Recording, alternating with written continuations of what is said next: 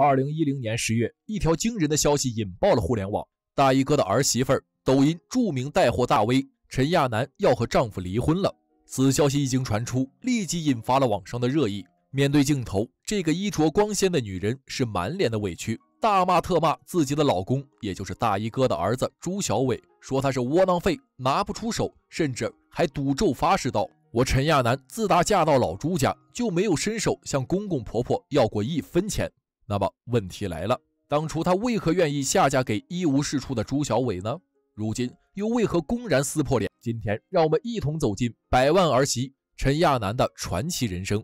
如果觉得精彩，请记得点赞关注。说起这陈亚楠，大家一定不会陌生。二零二零年十月份，在大衣哥朱之文的老家举办了一场超级豪华的婚礼。当天的新娘正是陈亚楠。那天，她成为了所有人羡慕的对象。为了给新媳妇儿一个大礼，老实巴交的朱之文夫妇拿出了半生的积蓄，两张房产证，一辆豪车，还有满满的一大箱子钞票，以至于看到这份大礼。连吃瓜的网友们都酸了，这么好的公公婆婆，怎么没让我遇到呢？而陈亚楠呢，早乐得合不拢嘴了。但随着婚礼的继续，一些非议也传了出来。原来是当天的婚礼上，新郎和新娘极其的不配衬，一个是五官精致，身材婀娜，而另一个则妥妥的二愣子模样。你们知道吗？听说这朱小伟连高中都没有上过，小时候因为淘气，早早就被学校给开除了。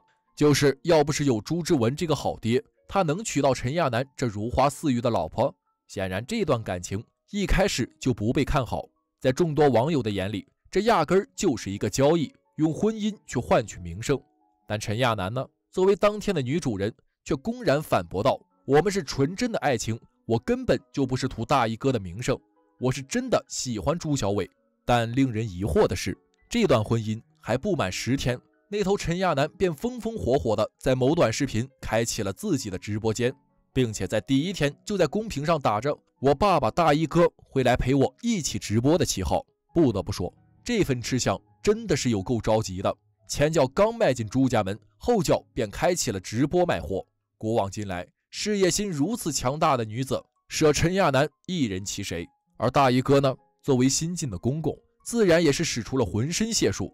又是唱又是跳的，当天陈亚楠的粉丝数就涨到了五十万人，可谓是创下了纪录。除了在精神上支持儿媳妇创业，大衣哥在物质上也是做到了全力以赴。就拿三亚的海景别墅来说，那可是动辄几百万的豪宅。据说为了让两口子过得安逸，朱志文夫妇二话不说便买下了。有了房子，陈亚楠还不满意，闹着要开什么传媒公司，最后大衣哥也答应了。又找关系又托人的，最后把陈亚楠捧成了全国知名的百万带货大 V。但事实证明，白眼狼是喂不熟的。随着陈亚楠事业如日中天，一旁的朱小伟便愈发的成为了眼中钉、肉中刺。在某次的直播中，这个强硬的女人更是直接开始炮轰起丈夫来，说他软弱无能，像烂泥扶不起来，连句整话都说不利索。看着镜头里这个沉默不语的男人。网友们顿时炸开了锅！你不是说你们是恩爱夫妻吗？这会儿怎么开始嫌弃了？甚至还有一些吃瓜群众带头起哄道：“陈亚楠，你这么优秀，当初为什么要嫁给朱小伟？”而陈亚楠呢，自始至终像是没看到似的，各种心虚，各种躲闪，最后甚至破口大骂道：“你们都给我听着，我有今天，全都是我自己一分钱一分钱赚出来的。我自打嫁过来就没有伸手向婆婆公公要过一分钱。”其语气之强烈，简直令人啧舌。不知道的还以为是大衣哥在借他的名声呢。那么问题来了，陈亚楠为何会说出这样一番肺腑之言呢？说白了，还不是有底气了。如果说一年前的陈亚楠还只是一个普普通通的农村小女孩的话，那么如今的她可谓是地地道道的成功人士，豪宅住着，奢侈品穿着，甚至就连身后的助理们都是穿金戴银的。更别说人家旗下还有多家传媒公司呢。据说仅每场的直播就能赚取几十万的天价。不得不说，陈亚楠真的是有眼光，实现了人生的逆袭。但话又说回来了，你这一切都是谁给的呢？是你的勤奋，还是你的智慧？说白了，没有大衣哥，你什么也不是。那动辄几百万的粉丝，哪一个是冲着你陈亚楠而来的？还记得那天的婚礼现场，你第一个吃到直播的甜头吗？谁家新娘子会捯饬好了，故意在镜头前显摆？不得不让人怀疑，打从一开始，这场婚礼便是整个攀龙附凤计划的起点。套用网友的一句话：“陈亚楠能有今天，只是因为他站在了巨人的肩膀上。”但常言道，天下没有不散的宴席，更何况是一段被强求的婚姻。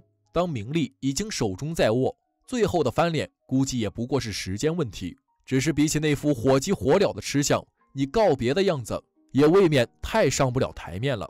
镜头前捯饬的人五人六的，说的话却令人不敢恭维。什么我进门后没有向公公婆婆要过一分钱？什么老公是窝囊废，不上进全靠我养活？常言道，家丑不外扬，更何况大衣哥夫妇还是地地道道的农民，如此炒作，真的不怕寒了公公婆婆的心吗？没花过一分钱，那海南的别墅难不成是天上掉下来的？不靠大衣哥。就凭你这白眼狼的做派，直播间的粉丝能过百，恐怕都烧高香了。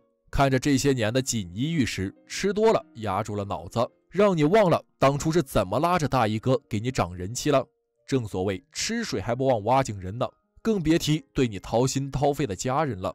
但陈亚楠呢，哪管这些，只要是可以炒作，只要是有利可图，什么当全网数落老公，背后声讨婆婆。只需要一个眼色就可以做的滴水不漏的。至于气的大衣哥老婆是怒不可遏，隔三差五的和丈夫争吵，直骂老公当初瞎了眼，看上了这么个儿媳妇儿。要说最苦的还是朱小伟，当初被人做跳板，如今又被老婆数落的抬不起头，整天闷闷不乐的，在镜头前一句话也说不出来。这份活受罪像极了蜂箱里的老鼠，进也不是，退也不是，到头来还落了一身埋怨。最后，我们再说回陈亚楠。作为新时代的女性，求得好的活法本没有错，谁不想人前显贵、锦衣玉食的？但问题在于，你前脚不该矢口否认，后脚紧跟着就借公公的名义开始大捞特捞，赚钱吗？不寒碜，但你口是心非，侮辱大众的智慧，就显得格外的心机了。当然了，千不该万不该的，还要数最后和大衣哥撕破脸。